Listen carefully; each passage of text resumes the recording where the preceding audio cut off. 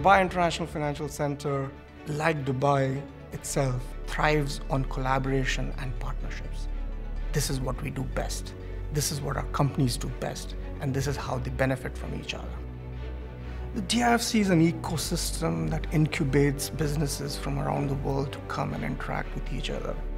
We have more than 14,000 people working in the center, over 950 companies, 125 nationalities, and the center adds more than $3 billion to the economic value out of Dubai.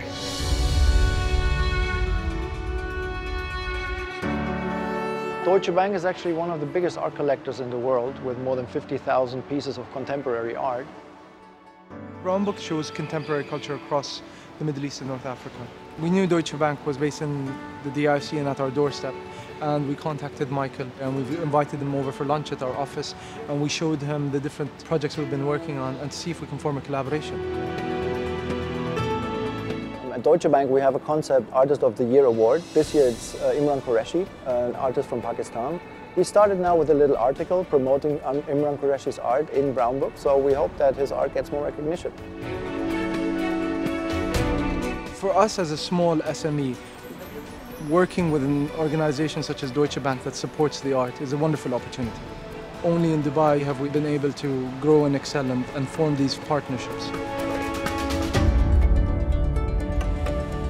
For business to succeed, it's vital to have a strong legal and regulatory framework. And that's what the DIFC courts provide.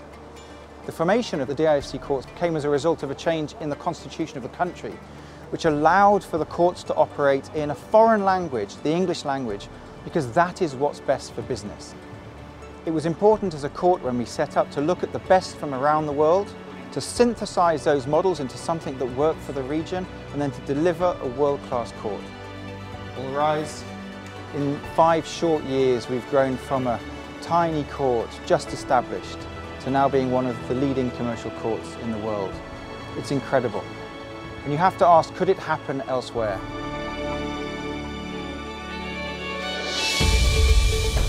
My parents came to Dubai in 1959. They both were teachers. They were teaching English as a foreign language. And they, they opened a school with 300 kids. And Uh, today we have about 130,000 children, probably around 185 nationalities. From literally nothing, we've been able to make a global brand. It's a great achievement. We are very, very strong in our value systems, which is about, about tolerance, about global citizenship, about leadership. These values really fit in very well with, with Dubai. It's an amazing place. It's a can-do place. It's things happen that you don't believe could happen anywhere in the world. This is a very vital environment you live in and you feel like as if you're part of building something and developing something. Dubai has been able to create a model for us to take to the world.